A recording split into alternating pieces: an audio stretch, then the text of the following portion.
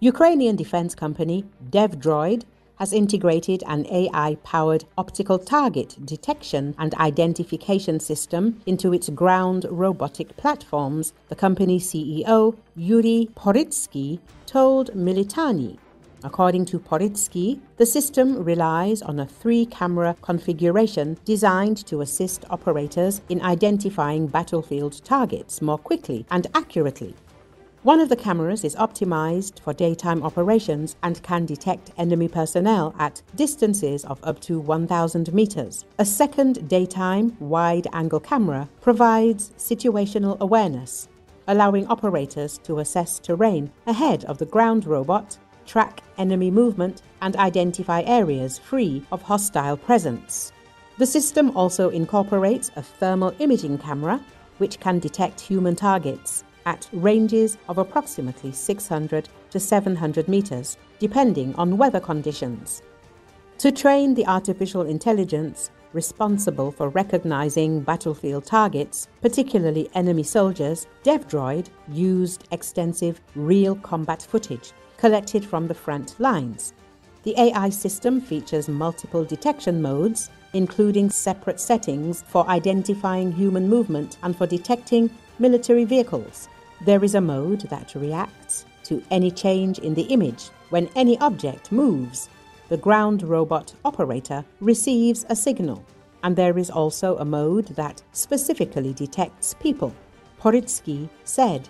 Earlier reports emerged that Ukraine was set to field its first officially codified, domestically built grenade launcher armed ground robot after the Ministry of Defense approved the Droid NW40 robotic combat system for service with the country's armed forces. The decision allows the system to be formally supplied to and used by Ukraine's security and defense forces, marking a major step in integrating robotic platforms into frontline operations.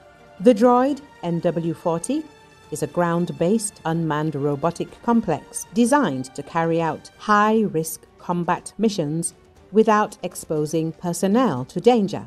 It is the first codified Ukrainian reconnaissance and strike UGV adapted to mount a 40mm automatic grenade launcher, either the MK 19 or AGL 53 according to its developers. The system is intended to engage a wide range of targets, including lightly armored vehicles, such as infantry fighting vehicles and armored personnel carriers, unarmored vehicles, exposed enemy personnel, and hostile firing positions located outside cover in open trenches or behind natural terrain features. In addition, the robot can conduct continuous remote battlefield surveillance the UGV is equipped with the new Wally 40 combat module, which provides rapid target acquisition and wide engagement angles. The launcher has a maximum effective range of up to 1.5 kilometers and can fire either single shots or bursts with an onboard ammunition load of 48 rounds. Mobility is fully electric. On a single battery charge, the Droid NW40 can travel up to 50 kilometers on paved roads or up to 40 kilometers off road. It can operate continuously for up to 12 hours while moving or remain on standby in a static position for up to 120 hours. Control of the system is entirely remote, using multiple redundant communications channels, including Starlink, LTE, mesh networks, Wi Fi, and sign.link.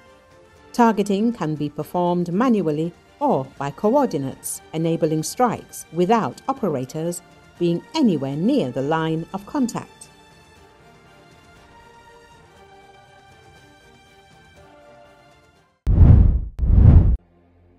Iranian Foreign Minister Abbas Araghchi on Friday met with Lebanon's Prime Minister and Parliament Speaker in Beirut. According to Associated Press during a briefing Araghchi answered a question about protests sweeping Iran, saying they are different from those elsewhere because the United States and Israel have both officially announced their involvement. They are doing their best to turn these peaceful protests to acts of violence. Despite Iran's theocracy cutting off the nation from the internet and international telephone calls, short online videos shared by activists purported to show protesters chanting against Iran's government around bonfires as debris littered the streets in the capital, Tehran, and other areas into Friday morning.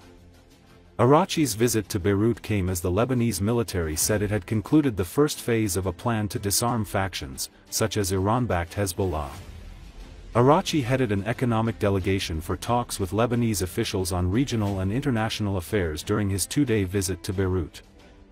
Iran desires having comprehensive relations with Lebanon, including economic partnerships, Araghchi said.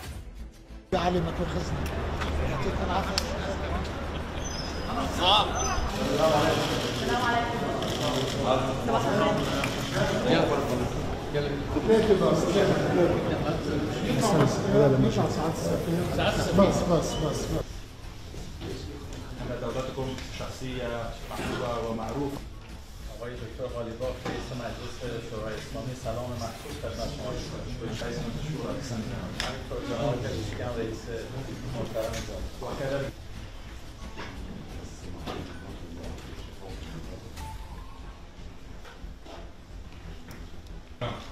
تفضل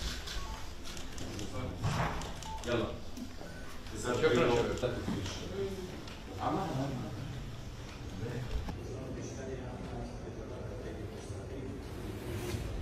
و اون اینکه هم آمریکا و هم اسرائیل رسما اعلام کردن که در این آشوب ها دخالت دارن و نقش دارن.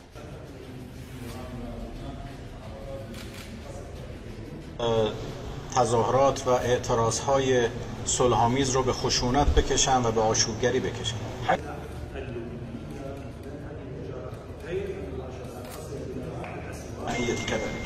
یکی از محورهای اصلی من در همه دیدارها گسترش روابط تجاری و همکاری های اقتصادی بین دو کشور.